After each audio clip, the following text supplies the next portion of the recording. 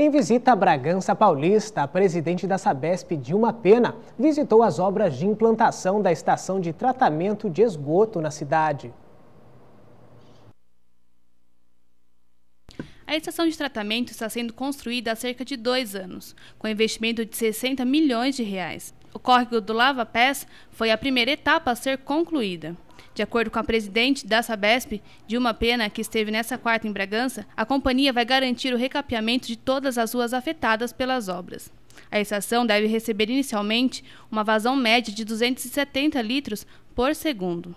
As redes elevatórias em torno do município estão em fase terminal e a estação faz a adequação dos equipamentos para garantir a pré-operação da ET em 2012. De acordo com o engenheiro da companhia, a estação vai trazer benefícios à saúde da população.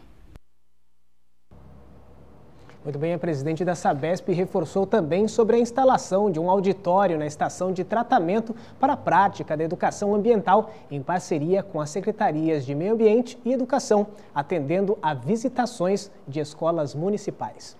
Agora, futebol. Após o empate em Americana, os jogadores do Bragantino se reapresentaram na quarta-feira. Um trabalho de recuperação das condições físicas dos atletas foi realizado, já visando o compromisso de sábado contra o Vitória, aqui em Bragança Paulista.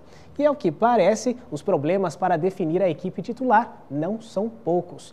Fábio Silvério, quais são as principais dificuldades do Massa Bruta? O Bragantino não terá o volante Eder Silva para o seu próximo compromisso e, além disso, também conta com mais baixas no elenco. O zagueiro Felipe recebeu o terceiro cartão amarelo e o volante Reinaldo também, e serão desfalques certos contra a equipe do Vitória. Também entregues ao departamento médico continuam Otacílio Neto, atacante, e os meio-campistas David Saccone e Luiz Mário. Por outro lado, retorna Lincoln, centroavante artilheiro do Massa Bruta, mas os jogadores Léo Jaime, o atacante Léo Jaime, que se recupera de uma lesão muscular, deve ser relacionado no elenco do técnico Marcelo Veiga. Outra informação, tudo indica que com essas é, contusões e suspensões, Júnior Lopes, zagueirão, pode voltar ao setor da equipe titular e Luiz Carlos, também zagueiro, pode ser deslocado para atuar como volante. O jogo do próximo sábado continua a promoção de ingressos antecipados a R$ 5,00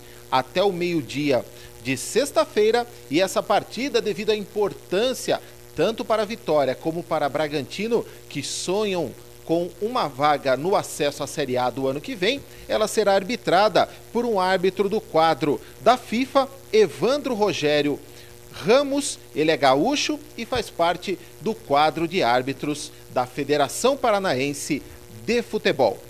Fábio Silvério para o Altiora Jornal. Tá certo, obrigado Fábio. Só reforçando que o Vitória é o nono colocado no Brasileirão da Série B com 40 pontos. E na última rodada foi derrotado pelo Grêmio Barueri por 2 a 1, jogando dentro de casa na capital baiana. E o Hora Jornal fica por aqui. Outras notícias na edição inédita desta sexta-feira, às sete da noite. A gente se vê. Até lá.